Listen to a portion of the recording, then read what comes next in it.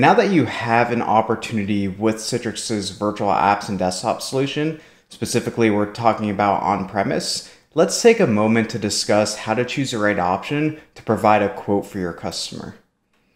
And we start first with deciding what product we would actually need based on your customer use cases. So we have three options. We have Citrix Virtual Apps, Citrix Virtual Desktops, and then the combination of both for Citrix Virtual Apps and Desktops. So quick summary, if you're leveraging Citrix Virtual Apps, you're gonna be virtualizing a server operating system in the backend. So some sort of you know, Windows 2012 R2, 2016, 2019, and that's going to be the workload users will be connecting to. So either a server desktop or individual virtual applications. It's only available, I guess it it is available in all editions, so standard, advanced, and premium editions. It's a concurrent only license. So that's extremely important to note. We'll go through what concurrent versus user device license is and compare and contrast on the next slide, but note that virtual apps is only available as a concurrent license. So next we have Citrix Virtual Desktops. This is if we want to just virtualize a desktop operating system. Think of like a, a Windows 7 or a Windows 10 operating system that users will be connecting to. So that's a one-to-one -one desktop, meaning once a user is connected to that virtual desktop, that's their desktop until they log off. So if we have a, a use case of 100 users, that's going to be um, 100 desktops we would need at minimum. Whereas if we go with a server desktop, leveraging Citrix Virtual Apps, we might be able to get 10 or 20 users onto a single server desktop because it's multi-user aware. So that's definitely something to, to share and discuss with your customer. Citrix Virtual Desktops is a standalone.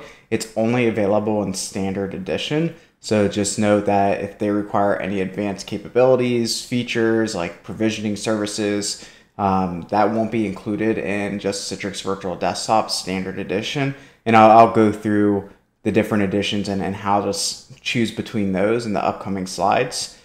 It's available as a concurrent or a user and device license, so you have the option of choosing um, between the two. And then if we move over to Citrix Virtual Apps and Desktops, this really gives your customer the flexibility of choosing between a server or a desktop operating system, or of course, a, combination of both. So they might have use cases where you know, some users need a, a virtual desktops, other users just need individual applications, and they can do that with virtual apps and desktop solution. It's only available in advanced and premium, so it's not available in standard edition. So just make note that when you make that quote, request, either request one of those two editions that are available. And again, I'll go through what those are in the next upcoming slides. And then it does provide the capability for remote PC access, which essentially is a tool to virtually connect to a physical piece of hardware. Maybe you're working from home and you need to access your physical device from home remote PC gives that capability of, of virtualizing a, physical workstation. And that, that's only available with Citrix Virtual Apps and desktops. So let's talk through concurrent and user and device because this is also critically important to know because it comes down to cost oftentimes as well as use case.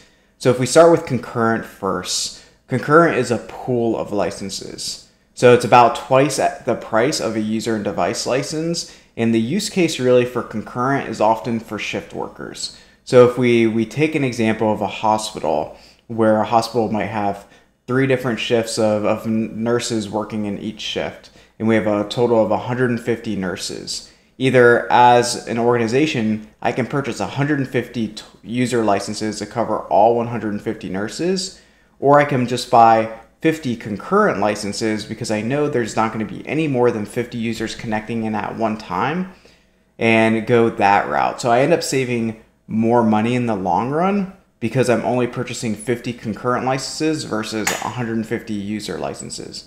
So it ends up being a lower cost even though a concurrent license is about twice twice as expensive.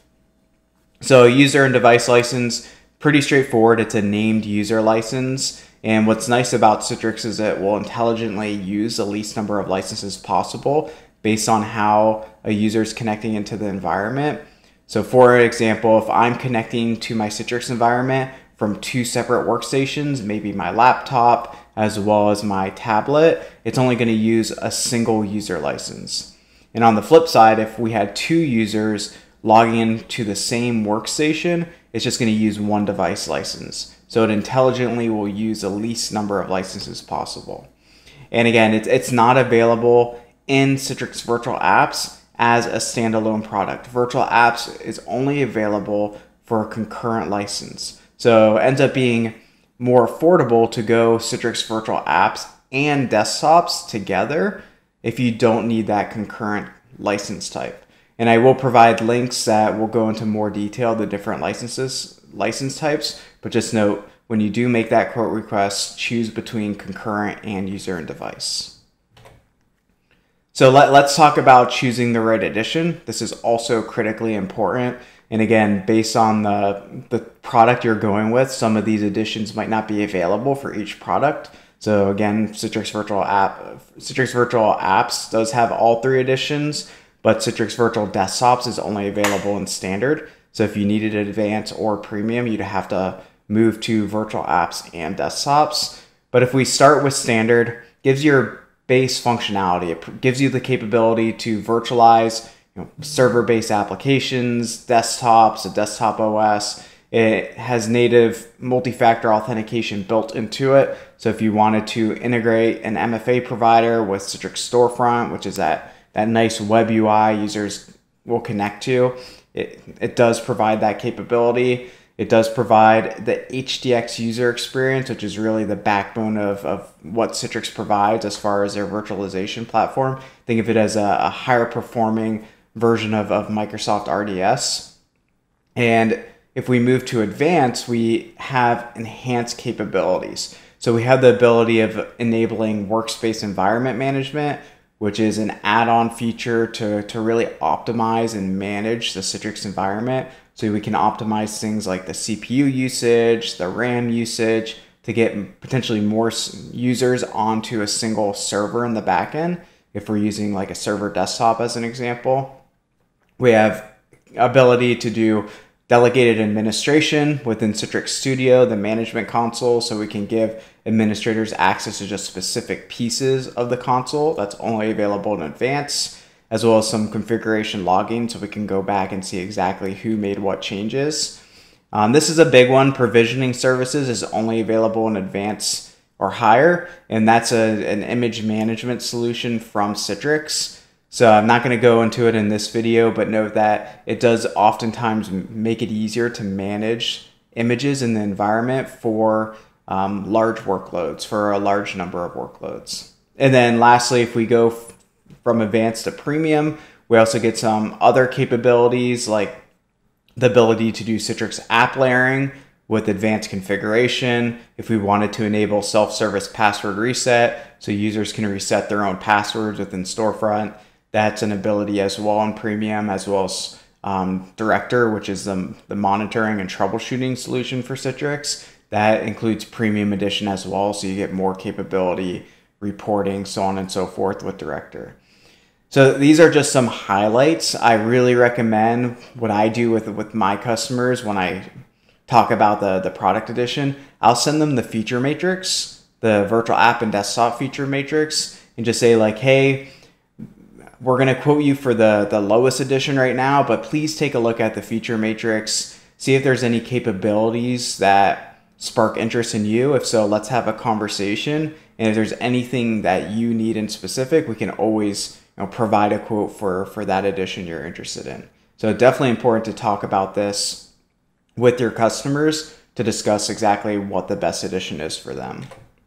All right, so let's look at some other considerations. So the first thing you need to look out for is if there's any remote access requirement for your customer's use case. And if so, sure, they can definitely leverage a traditional VPN, but if they want a better approach, which is my recommendation, they should at least use Citrix Enterprise Gateway VPX. So what this is, it's a secure appliance that sits in the DMZ. Users access it over SSL encrypted web traffic they see a logon portal, and as soon as they log on and they click their Citrix resource, their, their virtual app or desktop, the gateway is responsible for proxying that connection externally to that internal resource. So it's a very uh, beneficial way for providing remote access into the Citrix environment.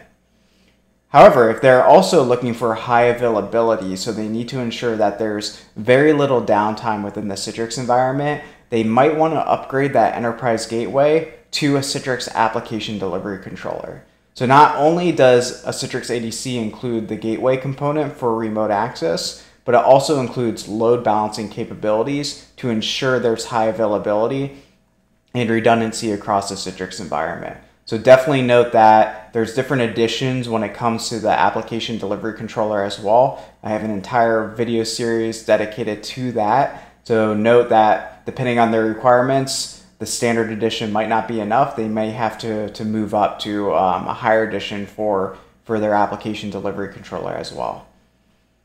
So virtual apps and desktops is only available as a subscription license as of October of 2020. So note when you do make that quote request, please put the terms you would like to see, one, two, three, or five years.